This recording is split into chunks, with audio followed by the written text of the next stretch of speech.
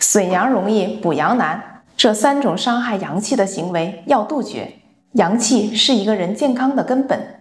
大家好，我是中医李医生。立夏已过，这说明夏天来了。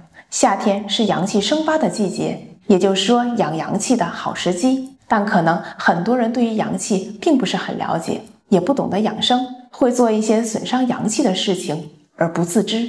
所以今天我就来为大家具体介绍什么是阳气，阳气不足会出现哪些表现，以及哪些行为会损伤阳气。先来为大家介绍一下阳气是什么。我国传统医学认为，阳气是指人的身体所具有的能量，人的一生就是阳气伴随的一生。人从外界摄入物质，这些物质所储存的能量会转化为人体所需要的能量。一个阳气充足的人。身体是强壮健康的，而一个阳气不足的人，在生活中会经常生病，体质也比较虚弱。所以，中医认为扶阳固阳是强体防病的根本。那一旦阳气不足，会出现哪些症状呢？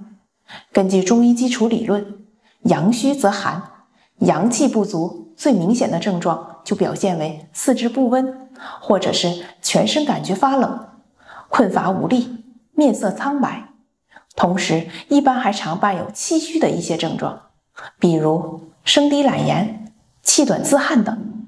此外，如果是肾阳不足，会出现腰膝冷痛、小便不利、小便频数、水肿等症状。引起阳气不足的原因主要有先天不足、禀赋虚弱，或者由于防劳过度、房事不节，导致肾气亏损。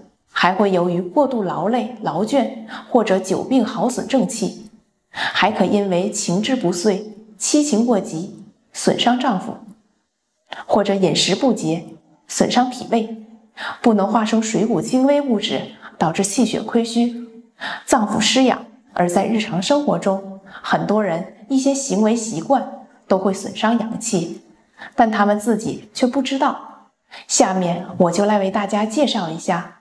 容易被忽视的损伤阳气的行为，大家一定要杜绝。第一个就是头发不吹就睡觉，这一点是不是很多人都没想到而忽视呢？因为现在很多人在忙碌了一天的工作后，回家都很晚，觉得疲惫，所以洗澡后头发没吹干就去睡觉了。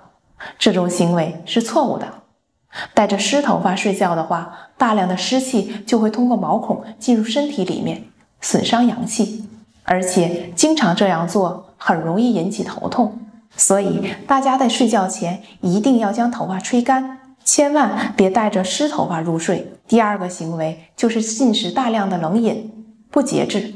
随着气温的升高，很多朋友都喜欢喝冷饮，吃雪糕降温，但冷饮中会带有大量的寒气。尤其是对女性朋友来说，如果进食大量冷饮，就会有大量的寒气进入子宫里面，从而造成宫寒，还会加重体内的阴气，从而导致阳气过少，阴阳失衡。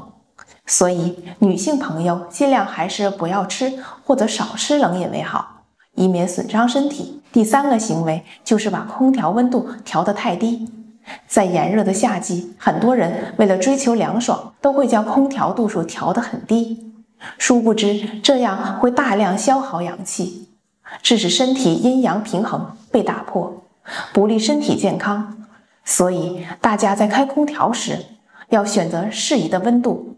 如果办公室是中央空调而无法控制温度，可以带一件长袖外套，或者拿一个薄毛毯，在感到冷的时候盖上。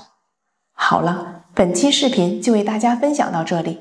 如果您觉得我说的有道理，可以给我一个免费的点赞和关注。后续我会为大家分享更多的中医知识。我们下期再见。